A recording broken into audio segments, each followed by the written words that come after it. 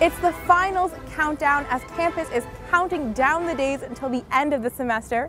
Hey Quaker fans, I'm your host Exandria James. Welcome to the latest edition of This Week in Penn Athletics, your source for the quickest review of all things red and blue. First start of the season for senior Renee Bush, who sinks three straight threes in the second half to propel the Quakers to a win.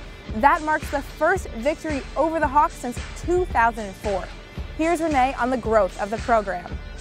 It's a great feeling, especially from where we came in freshman year, you know, struggling to win a Big Five game, and to see how the program has just progressed, it's, it's a great feeling to be a part of that.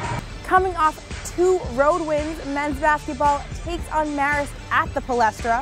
Freshman Sam Jones with 19 points for the night, on fire going 5 of 6 on three-pointers.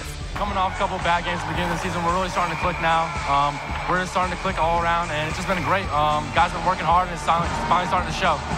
A 59-42 victory marks the first time the Quakers have won three in a row since 2012. Coming up for the women, it's the Battle of 33rd Street just down the road at Drexel on the 20th.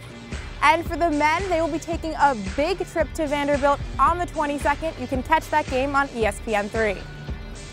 Three-year-old Cole Davis has been coming to Philadelphia to receive cancer treatment since 2012. On Friday, his trip was just a little more special.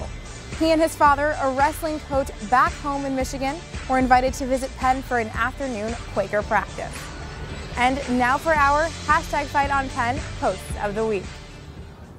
It looks like Rashawn picked a good day to return to campus. He got to witness a big victory for Penn basketball, and he even used our favorite hashtags.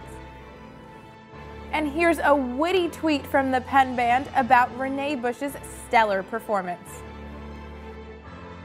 Last week you voted in favor of the streamers. This week we want to know your favorite Penn Athletics moments of 2014. Tweet your answers to at Penn Athletics. To find out some of the answers to that, you'll just have to wait until 2015. Thank you to everyone who has watched the first full year of This Week in Penn Athletics. We'll be back better than ever in January. Until then, fight on Penn.